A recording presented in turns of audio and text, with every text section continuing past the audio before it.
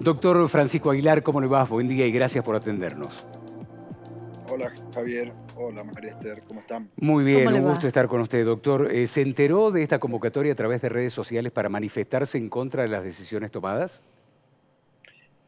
Sí, sí, sí, estaba al tanto. Eh, sí, sabemos, por supuesto, y están en su derecho a manifestarse. Lo único que le pedimos, primero que entiendan que nosotros somos muy conscientes de que las medidas son,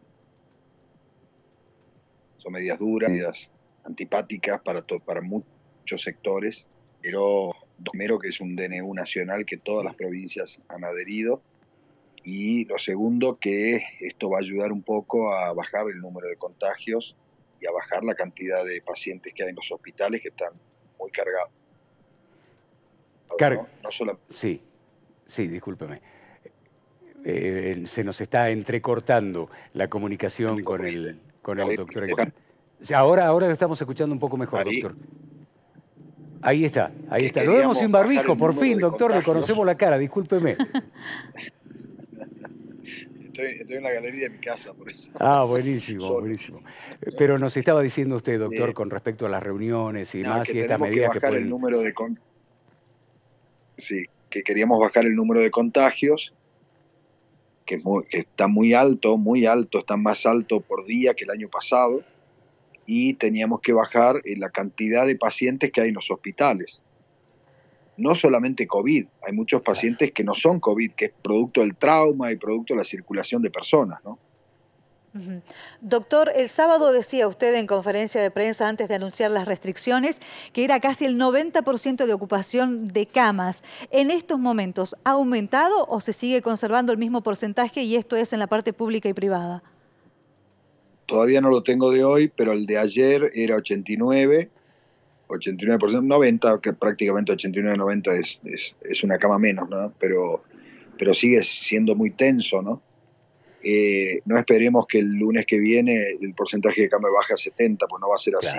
Pero va a bajar la cantidad de camas no COVID, que eso es importante. El Hospital San Bernardo, que es el más grande, está totalmente repleto de pacientes, ACV, infarto, la, patología normal del San Bernardo y accidentes.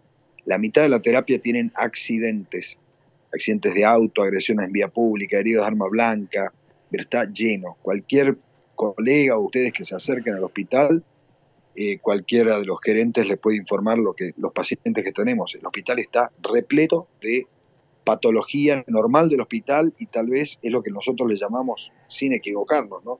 la otra pandemia. Mm. Es tremendo la cantidad de pacientes que hay en el hospital y si nosotros bajamos la circulación, bajan esas patologías y tenemos más camas como teníamos el año pasado. El año pasado el San Bernardo tenía 20 camas para COVID de terapia intensiva. Hoy tenemos 4, porque las demás están llenas.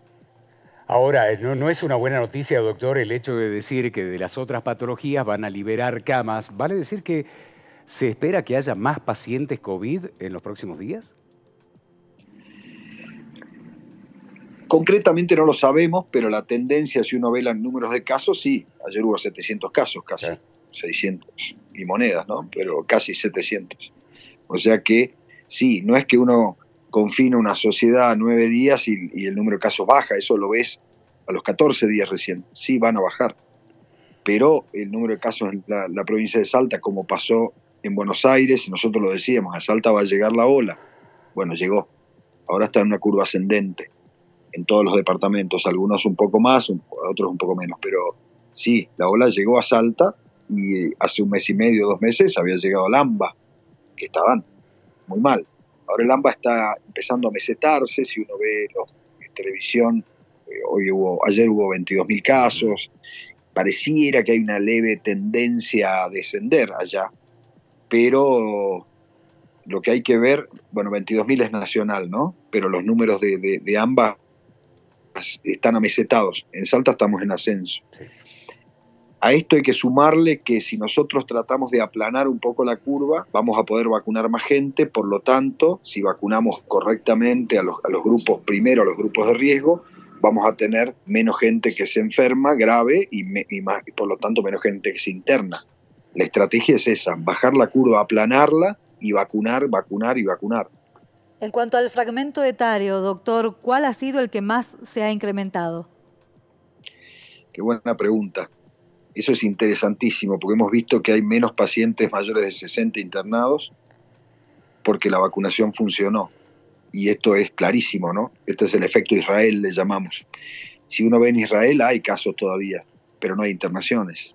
Y la, curva de mortalidad de Israel se aplanó, porque Israel fue el país que más vacunó, Estados Unidos y Israel y algún país árabe son los que más vacunaron en el mundo, ¿no? En estos meses. Y la curva de mortalidad bajó significativamente gracias al efecto de las vacunas. O sea que si uno, si uno ve como estrategia bajar la circulación de las personas y vacunar, es una estrategia lógica en la medida que la gente lo puede hacer, pero no por periodos largos, porque eso es imposible desde el punto de vista económico, y lo sabemos, sino cuando vos ves que empezás a saturarte un poco el sistema sanitario, eh, restringís y seguís con la vacunación. La vacunación depende no depende tanto de nosotros, depende de nosotros aplicar las vacunas, ¿no? Y, aplicarlas bien. Pero depende que lleguen vacunas a la Argentina, ¿no? Que por lo visto van a llegar en los próximos 10, 15 días, van a llegar 5 millones de vacunas. O sea que para Salta van a llegar muchas vacunas.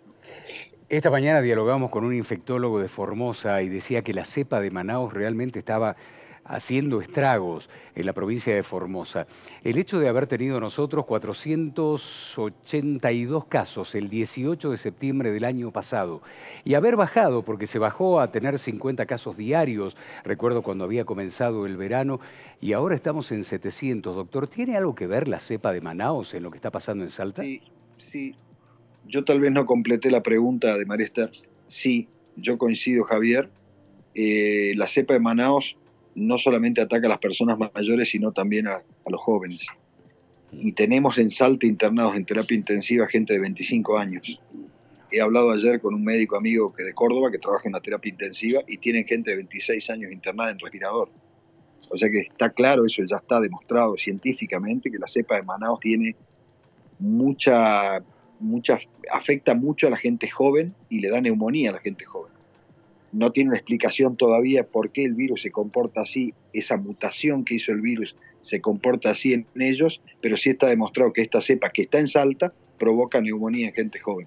Y como la gente mayor de 60 en Salta está vacunada más del 90%, estamos viendo gente joven de 40, promedio de 40 años, más o menos, que están internados en terapia con neumonía.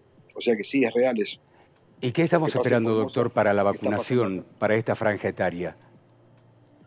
Nosotros ya notamos en Salta a los mayores de 55, eh, ya en Salta es una de las primeras provincias que empezó a notar a 55 años, o sea que, y aprovecho esta comunicación para, instar a todos que vayan a vacunarse, a los médicos de cabecera para que hagan los certificados correspondientes a los que tengan factores de riesgo, factores de riesgo que todos, todos los médicos ya saben cuáles son, porque el ministerio los anunció perfectamente y además llamar a la población que, se anoten para vacunarse porque todavía hay vacunas en Salta para poder aplicarse. Y si llegan las vacunas que, están anunciadas desde Nación, la semana que viene seguimos con la vacunación y bajaremos, si, si Dios quiere, bajaremos a, a 45, pero bueno, primero tenemos que cumplir con, con ese grupo etario. Siempre uno va bajando porque cuanto más baja, menos, menos riesgo hay en la población, obviamente. ¿no? no es lo mismo una neumonía en una persona de 40 que en una de 60. Lo que pasa es que hay que ir bajando por cuestiones sanitarias de riesgo. ¿no? Doctor, eh, ¿qué opina con respecto al caso de Lara? ¿De quién, perdón? Eh, esta jovencita de 22 años en Santa Fe, que la foto la divulgó su madre a través de las redes sociales, esperando tener una cama en uno de los hospitales santafesinos y lamentablemente después de haber sido internada y demás, no pudieron salvarle la vida. Lo escuché hoy a la mañana, no me, no me acordaba el nombre, lo escuché hoy a la mañana en televisión, me pareció, no lo vi, no vi la foto, pero me parece lamentable, me parece que eso muestra lo que es nuestro sistema sanitario en el país el sistema sanitario argentino en la mayoría de las provincias es deficiente, no está preparado para contingencias como estas, eh, y eso es un reflejo, un, triste reflejo de lo que nos pasa, ¿no? Yo lo he dicho el año pasado, el sistema sanitario público de Salta no estaba preparado para una pandemia. Tuvimos que hacer muchas cosas con, con mucho esfuerzo, de todo el mundo, ¿no? No solamente de la, de la parte del gobierno, ¿no? Sino de los médicos, enfermeros y, demás, para poder transformar y atender una ola de esta, como fue el año pasado. Esta ola es diferente, es una ola que está eh, con, con, con la economía abierta, con, con actividades que generan otras patologías, con gente muy agobiada, con personal médico y no médico que trabaja en hospitales que no se han ido de vacaciones hace 14 meses. Es decir, es una ola distinta, es con frío, o sea que la gente se guarda más y por lo tanto se contagia más, con cepas nuevas, cepas a veces algunas de ellas desconocidas, que estamos viendo que atacan a los jóvenes también. O sea que eh, la situación es compleja. Lo que pasó en Santa Fe es una imagen lamentable, eh, tremenda. Esperemos que no haya más laras en, mm. la Argentina, porque es, es, horrible, ¿no? Realmente esa situación. Eh, un sistema sanitario saturado es lo peor que le puede pasar a, un... Bueno, si recordamos Italia le pasaba lo mismo, mm. en Londres pasó lo mismo, en Brasil pasó lo mismo en varias localidades, en varias provincias o regiones de Brasil, donde había, y en la India está pasando eso hace ya dos semanas, ¿no? La India llegó a tener hace dos semanas atrás 900.000 casos en un día. Está bien que es el segundo país más poblado del mundo, ¿no? Pero tienen 30.000 muertes por día, ¿no? Es una cosa realmente tremenda y casos como esta pobre chica en esos países se ven cada minuto. Vi un, zócalo, creo que le llaman ustedes lo que va abajo, ¿no? Ayer en televisión que decía, en un canal Euronews, que decía un muerto cada un minuto tenían en la India, una cosa realmente tremenda, ¿no? Y bueno, son las cosas difíciles que uno tiene que pasar, que tiene que vivir y que no quiere y que no quiere que pasen y para eso personalmente yo estoy justamente abocado a eso, ¿no? A, bajar la mortalidad, en este caso de Salta. A ver, ¿y cuáles son? Eh, yo recuerdo que hablamos con usted, doctor, no hace mucho y usted decía, eh, tenemos que tomar medidas y no cometer los mismos errores que cometimos el año pasado. ¿Cuál es el error que está cometiendo India que no deberíamos cometer nosotros? Yo no conozco India, no conozco intrínsecamente India, pero India tiene un problema. India tiene el tamaño de la Argentina, tal vez un poquito más en kilómetros cuadrados, ¿no? pero tiene 1.200 billones de habitantes. Entonces, el hacinamiento que tiene India es, es tremendo. La, la, no, sé bien decir la palabra porque no quiero ofender a nadie, pero, pero tiene una contaminación urbana tan severa, el río Ganges y todos esos ríos son mm. ríos muy contaminados, donde no solamente el problema de India es el COVID, sino que India tiene problemas de infecciones eh, públicas y comunitarias muy severas, ¿no? El agua de, muchos ríos que pasan por India están contaminados, porque se hacen ceremonias de... Mortuorias. Cremaciones. Sí, las cremaciones en el río Ganges, sí. En el río Ganges, y, bueno, todo eso yo creo que es parte un poco de la cultura que hay que respetarla, por supuesto, ¿no? Pero eso lo está jugando en contra ahora. Doctor, ¿qué siente al momento de que se habla de las fiestas clandestinas? En el caso de Salta, durante este fin de semana largo se pudieron registrar más de 20. ¿Qué le causa eso a usted? muchas, muchas sensaciones, ¿no? Pero eh, tengo una buena. Bajaron mucho. Eso es lo bueno, digamos. Lo malo es que la gente tiene que tomar conciencia. Lamentablemente, cansados estamos todos. Yo le aseguro que estamos todos cansados, pero pero no por eso podemos bajar los brazos y decir, bueno, yo ya estoy cansado, voy a, voy a hacer una fiesta, voy a hacer un asado, voy a salir y desafiar a la enfermedad. Eh, cuando uno tiene un familiar o un amigo que ha muerto hace poco por COVID, como, como todos nosotros tenemos, yo creo que el tema de las fiestas eh, tiene que venir por ahí, ¿no? Por la conciencia de decir, esto no es, no es una pavada, esto es serio, se muere gente. No se van a morir los que van a las fiestas, ellos van a llevar el virus a la casa. Mm. Ese es el tema. La clave está ahí, el comportamiento de los jóvenes, que es, son jóvenes, son rebeldes porque son jóvenes, todos lo fuimos, y, tienen ese comportamiento desafiante, ¿no? que si ellos lo logran entender, que si, si ellos pueden ser asintomáticos y llevar el virus a una persona mayor y, ellos pueden, la persona mayor puede morir, ¿no? como se está viendo, no, no es algo que yo estoy diciendo, eso es algo real. Ahora, eh, doctor, y esto es durísimo, sobre todo para la gente que, lo puede estar pasando muy de cerca. ¿Qué porcentaje de aquellos que ingresan a ARM, a asistencia respiratoria mecánica, tiene chances de, recuperarse? Sí, es un número duro, pero hay que saberlo. Es, el año pasado era mayor al 90%. Este año, como en la mayoría de las localidades, vamos a hablar de Salta, ¿no? Porque otras provincias tienen números mejores y peores. Mm. El porcentaje de Salta bajó, bajó al 70, 70 y pico, eh, porque los que entran al respirador ahora son más jóvenes. Entonces tiene mucho más tolerancia y tiene más chances. Pero 70 es un número alarmante, es un número tremendo. Eso no, no, es un número que uno pueda aceptar fácilmente. Y ni hablar los médicos que trabajan en una terapia intensiva. Y nos, están, nos estaban hablando desde los centros de referencia de testeo. Por ejemplo, esta mañana nos decían que un 30% está dando positivo. Nos acaban de pasar datos desde el Manjón, por ejemplo, donde también nos dicen que en la jornada de hoy un 30% positivo. ¿Esto es probable que aumente o que disminuya, doctor, en base a este confinamiento?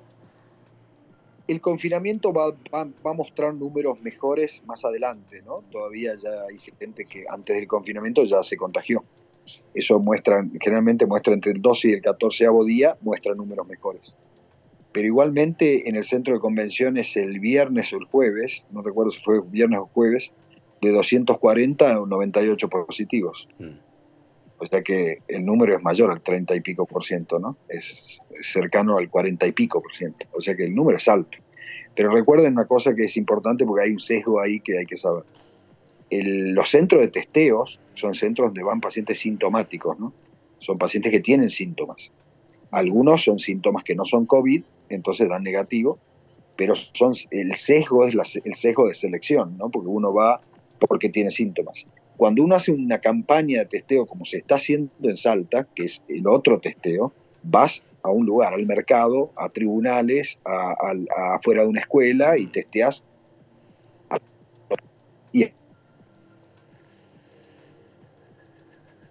Ay, ay, ay, bueno. Ahí estamos esperando recuperar la, llamada con el doctor. Mm, eh, ahí está.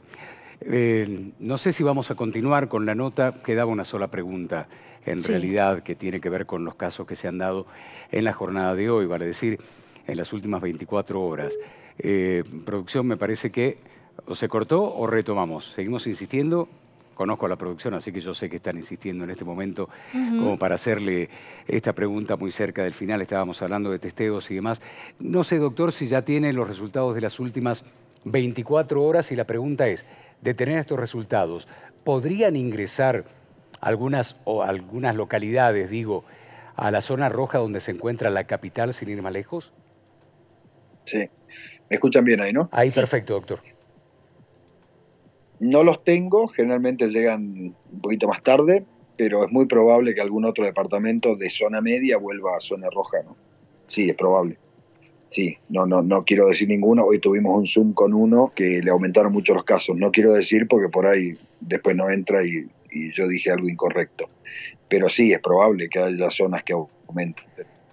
Y, es probable que alguna zona que, que se están cumpliendo mejor los protocolos baje también, ¿no? Por supuesto. Y estaría bueno para cumplir otro tipo de restricciones, no las que tenemos hoy en La Candelaria, Rosario de la Frontera, Metán, la capital, y ya sabemos cuáles son esas zonas que nos encontramos en rojo en el día de hoy. Así es. Eh, doctor, a pesar de que caduca este DNU el próximo 30 de mayo, ¿se podrían tomar determinaciones a nivel COE provincial con más restricciones si los casos no cesan?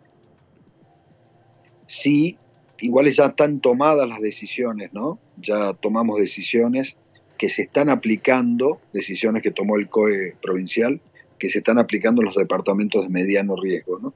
Se están aplicando restricciones en, pos de bajar la, circulación viral.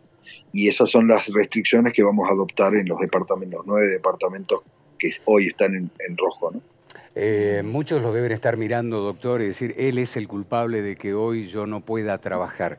¿Qué le dice a esas personas que llevan el sustento al día, día a día, a su casa y que por lo menos hasta el próximo domingo no va a poder salir a trabajar? No, el, mensaje es claro, yo siempre lo di y traté de ser siempre muy, muy claro y honesto. Esto es muy complejo, las tomas de decisiones son muy difíciles, por supuesto pero siempre cuando uno, esto es un triángulo, que es salud, economía y educación. Siempre lo más importante es la salud, ¿sí? porque sin salud no podés, obviamente, ni, trabajar, ni, ni, educarte, ni llevar a tu hijo al colegio, ni mantener una familia. O sea que primero el pilar principal es la salud. Cuando uno ve que la situación se pone muy angustiante y los hospitales están muy cerca de, de la saturación, vos tenés que frenar un poco todo porque si no, esto se torna ya inmanejable y vamos a ver el caso de la chica de Santa Fe. Y nosotros eso no lo queremos vivir en Salta. Queremos que la gente que se contagió y que tiene la mala suerte de tener una enfermedad grave, que es el 20% de los contagiados, tenga un lugar donde ser atendido. Para eso necesitamos que la gente se cuide, cumpla los protocolos, trate de no infectarse y bajemos el número de contagios. De esa forma vamos a poder abrir las actividades, como yo vengo diciendo hace, hace dos meses que vengo diciendo lo mismo. Queremos que la gente no cortar la economía, no cortar la educación. Hemos insistido con eso todos los días. Llega un momento que tenés que ajustar un poco porque la situación se pone bastante... Y, y no podés demorar mucho porque cuando vos ya te saturaste, ya es tarde para cerrar. Esta mañana mencionábamos, ¿no? Todos aquellos que están trabajando y que están haciendo patria, y usted, a pesar de estar en el patio de su casa, sigue haciendo patria, sigue con sus responsabilidades médicas desde allí, atendiendo esta entrevista. Doctor, ha sido usted muy gentil, le deseamos que tenga un lindo 25 de mayo. Igualmente, muchas gracias a ustedes. ¿eh? Que esté muy bien. Gracias, doctor. Hasta luego.